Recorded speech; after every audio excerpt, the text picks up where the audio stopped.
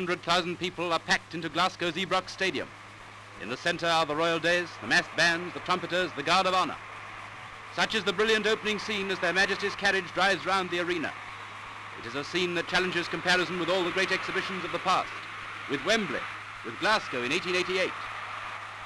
Yet already in the opening hour of this big show of 1938, as Their Majesties are greeted by Lord Elgin, the President of the exhibition, the one word for it is success. For success is the keynote of the opening speech by His Majesty the King.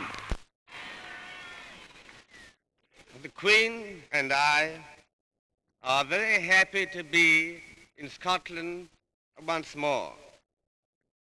We shall see today the completion of a great scheme whose inception we saw when we were last in Glasgow 10 months ago.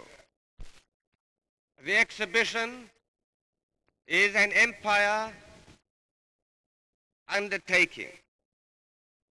But we do well to remember that it owes its origin and to a great extent its execution to the people of Scotland. I have spoken first of Scotland, but I am well aware that without the generous help and support of the rest of the empire, this exhibition would not have been possible. And confident as I am that this great exhibition can make a real contribution to the general well-being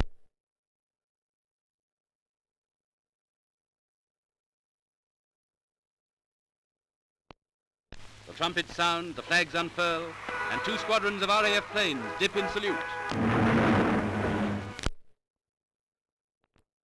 And again, a 100,000 voices are raised as their majesties drive to the exhibition to begin their four-hour tour of the park where the empire has strung like so many pearls the beauties and riches of the British Commonwealth of Nations.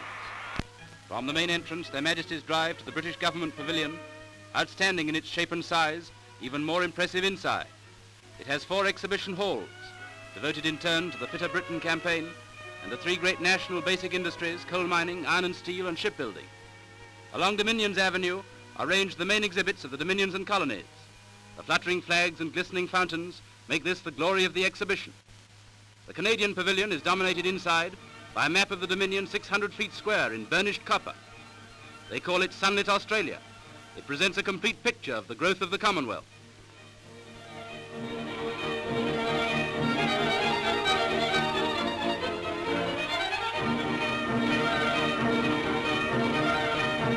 At this point in their tour, their majesties separate, the Queen going to the women's section of the exhibition, His Majesty to the Palace of Industry.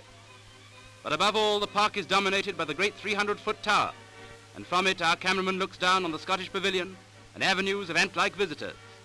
Meanwhile, the Queen is at the Fashion Theatre.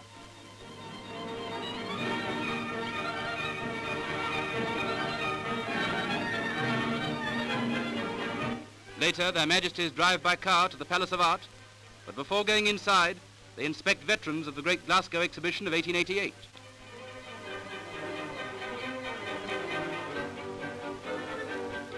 Inside the palace, their majesties see the busts of His late Majesty King George V and Her Majesty Queen Mary. After lunch in the royal suite, they visit the Clachan village, a perfect representation of the rural life of the Highlands. They greet Mrs. Morrison, who is 85 years old, comes from the Outer Hebrides and demonstrates the centuries-old art of Scottish spinning. So the great exhibition receives its royal send-off, the show that glorifies the British character, the British spirit and determination, the British will to win. It is not enough that we should possess all these. We must tell the world about them.